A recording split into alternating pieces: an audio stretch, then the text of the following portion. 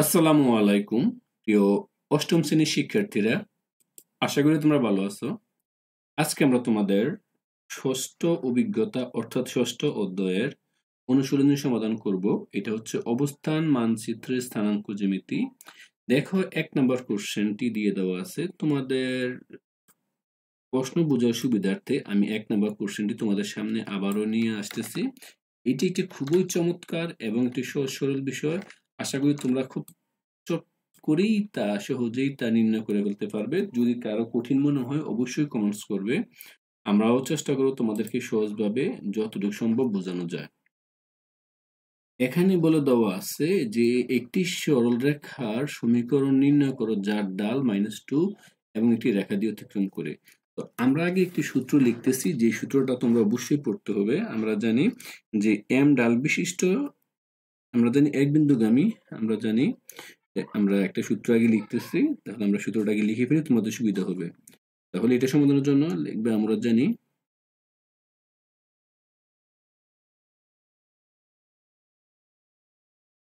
আমরা জানি এটা হচ্ছে আমাদের এক বিন্দুগামী, এক বিন্দু, আমরা জানি এক বিন্দুগামী এবং এম ডাল বিশিষ্ট। আমরা জানি এক বিন্দু এক বিন্দু এটাকে বলা হয় এই এক্স ওয়ান ওয়াই ওয়ান। এক বিন্দু মানে এক্স ওয়াই ওয়ান বিন্দুগামী। ও, একটু জাস্ট আমরা জানি এই এক বিন্দুগামী এবং এম ডাল বিশিষ্ট, আমরা জানি এক বিন্দুগামী।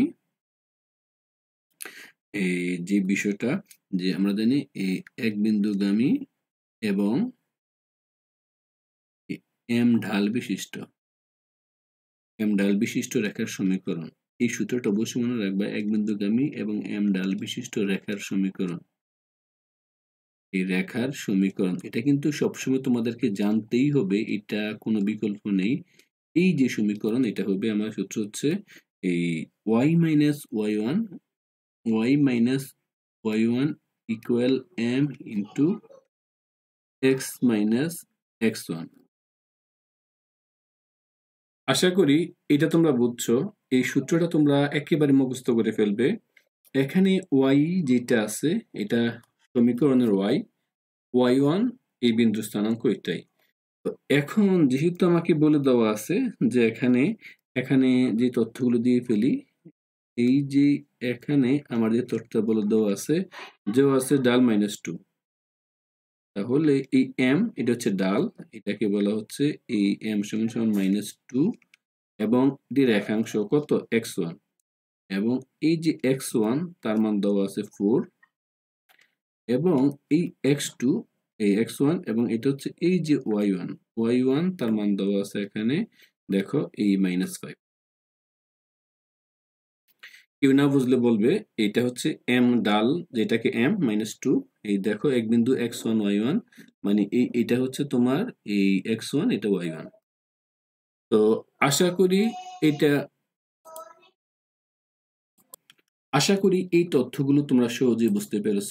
এবার এই এই তথ্যগুলো আমরা সমীকরণে বসাবো।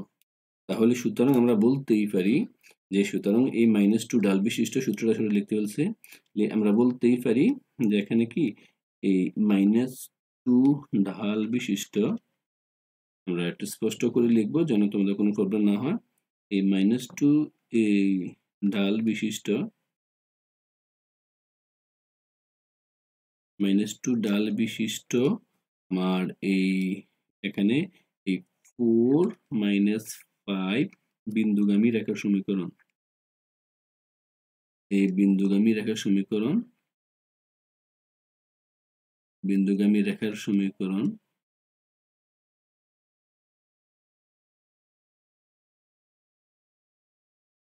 দেখো এই রেখার সমীকরণ আমরা এটা যদিও, আমার লেখা কিন্তু একটু স্পষ্ট নয়, আশা করি তোমরা একটু আমি বলে দিচ্ছি, তাই তোমরা এটা সহজেই বুঝতে পারবে প্রবলেম হলে বলবে। তাহলে মাইনাস টু ডাল বিশ রেখার সমীকরণ আমরা বলতে পারি ওয়াই মাইনাস ওয়াই ওয়ান তাহলে Y minus Y one Y ওয়ানের মান এখানে দিয়েছিলাম minus five equal M M এর মান হচ্ছে মাইনাস টু এখানে এই X minus X one X one মান হচ্ছে ফোর এবার আমরা যে কাজটা করব, এখানে এই হিসাবটা করে ফেলব। আমরা সমীকরণ বসিয়েছি, এবার হিসাবটা স্পষ্ট করে করব। তোমরা না বুঝলে ভিডিওটি বারবার দেখবে। এই ওয়াই মাইনাস মাইনাস হচ্ছে এই প্লাস ফাইভ ইকুয়াল দেখো, এটা হবে মাইনাস এই টু এক্স মাইনাস মাইনাসে প্লাস চার দুগুণে আট। তো আমরা এখানে এই পাশে এই ওয়াই এই পাশে মাইনাস টু এক্স আছে, এই পাশে আসলে এটা প্লাস তোমার হয়ে যাবে এই টু এক্স এবার এই ফাইভ রাখলাম, এই পাশে আছে মাইনাস প্লাস এইট এই পাশে আসলে মাইনাস এইট হয়ে যাবে। ইকুয়াল আশা করি এটা তোমরা বুঝছ। এবার আমরা কাজ করব যে এই ওয়াই এই ওয়াই এই প্লাস টু এক্স এই মাইনাস আট থেকে পাঁচ গেলে থাকতেছে মাইনাস তিন ইকুয়াল জিরো সুতরাং এইটাই সমীকরণ। সুতরাং এই নির্ণয় সমীকরণ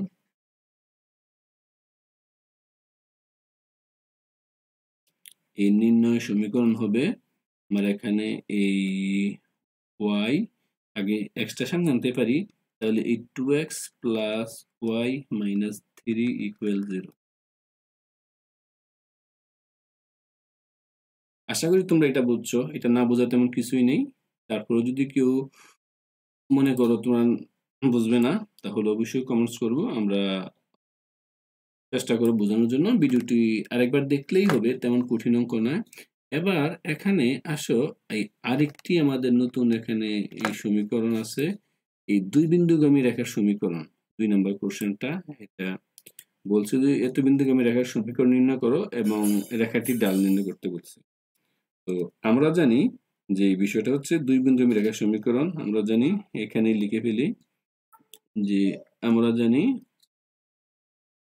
আমরা জানি এটা হচ্ছে এই দুই বিন্দুগামী রেখার সমীকরণ। দুই বিন্দু মানে এই এক্স ওয়ান, ওয়াই ওয়ান এবং এক্স টু, ওয়াই টু এই যে এটা হচ্ছে কমা হবে, এটা মাইনাস হবে না। এই দুই বিন্দু এক্স টু ওয়াই টু এত, এই বিন্দুগামী রেখার সমীকরণ। আমরা লিখতে পারি এত বিন্দুগামী রেখার সমীকরণ, দুই বিন্দুগামী রেখার সমীকরণ, দুই বিন্দুগামী রেখার সমীকরণ। এই দুই বিন্দুগামী এই রেখার সমীকরণ রেখার সমীকরণ হবে এখানে এই আমার তো এক্স মাইনাস এক্স ওয়ান তোমাদের বইয়ের শুরুতে যেহেতু ওয়াই দেওয়া আছে, তোমরা ওয়াইটা করতে পারো। তোমাদের বইয়ের মতোই লিখতেছি।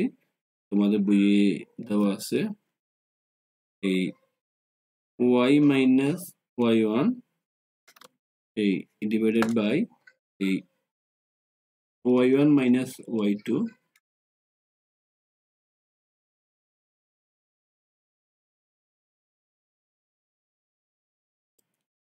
এবং দেখো, আমরা লিখতে ওয়াই মাইনাস ওয়াই এখানে তারপর লিখতে পারি এই X minus X one X minus X one